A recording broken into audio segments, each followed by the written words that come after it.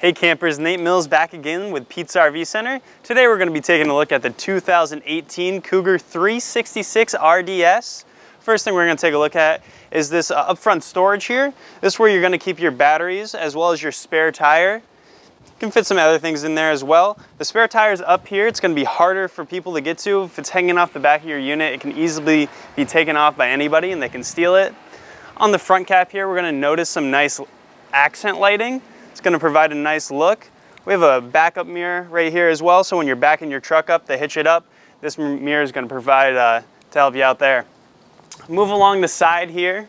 You do have propane storage on each side. Let's check that out there. You also have a large pass-through storage with magnetic latches, so you're not gonna have those clips breaking. You can fit tons of stuff in this pass-through storage. Your chairs, your patio mat, anything can be stored in there. As we work our way along here, we're gonna notice the large pass-through awning with the nice LED accent lighting as well. It's gonna provide a good ambiance when you're entertaining out here. And we also have the outdoor speakers so you can play some of your favorite tunes while you're entertaining outside of your unit. That's about it um, for the outside of the Cougar.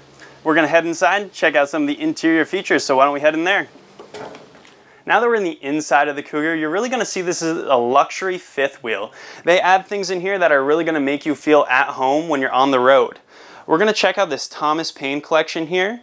Here we have these nice recliners to start, as well as these opposing love seats that are gonna fold out into tri-fold sleepers. Just add more sleeping space in here in case you have some guests, maybe you're bringing your kids along. As you look at the entertainment center here, we do have a nice electronic fireplace with storage on both sides, as well as a Furrion radio.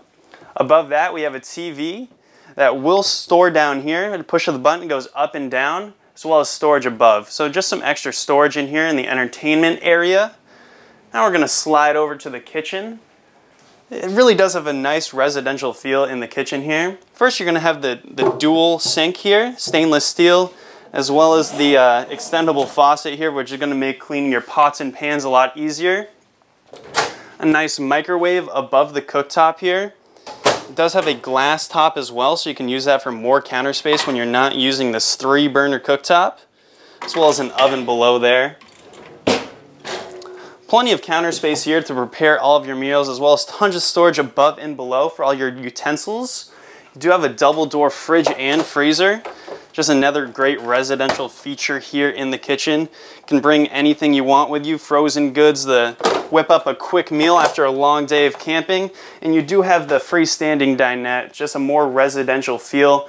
You know, it's not like the booth dinettes that you see in some of the other units. And just tons of storage in this kitchen. Look at this huge pantry here.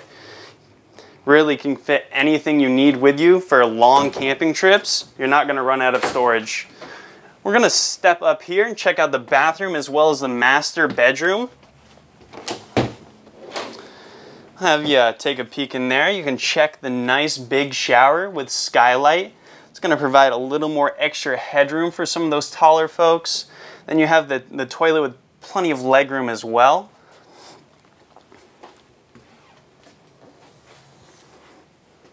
All right, we're gonna head in to the master bedroom. As you can see, we have some storage over here. It's got a nice clothes rack so you can hang up any of your clothes.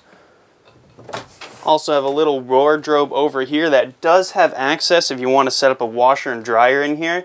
You can totally do that. Make it easy for you. You won't have to go to the laundromat when you're camping. You can just wash your clothes from the comfort of your own RV. So that's about it for the Cougar 366 RDS. If you'd like to see this floor plan or any other like it, please head over to petesrv.com and we hope to see you soon.